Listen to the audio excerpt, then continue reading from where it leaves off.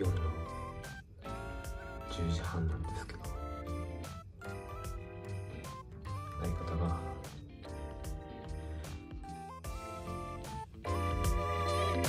アイス食べたいっていうことなので買いに行ってきます。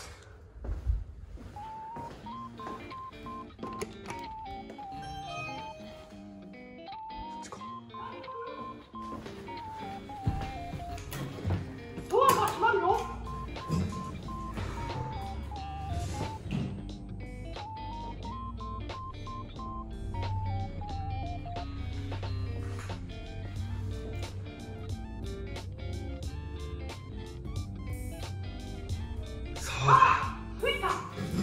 階だよ。プール行くの忘れ上にてた行くよ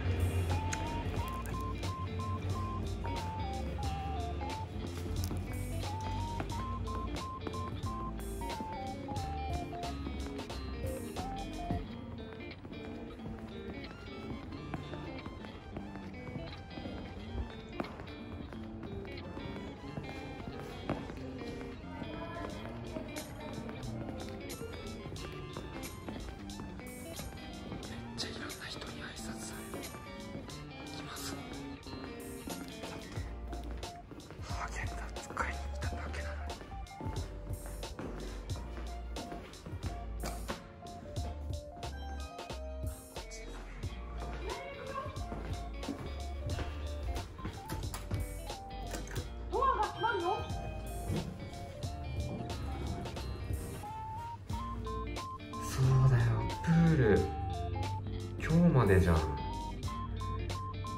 ーやっちまった。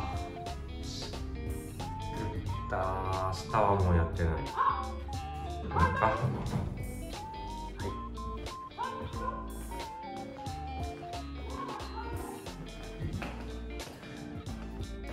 ということでね無事。ハワゲンダ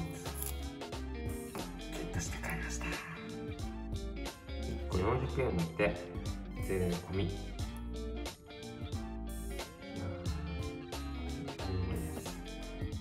対やばいやつや。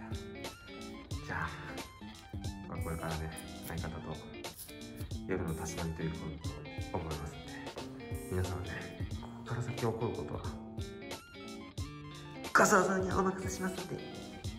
じゃあね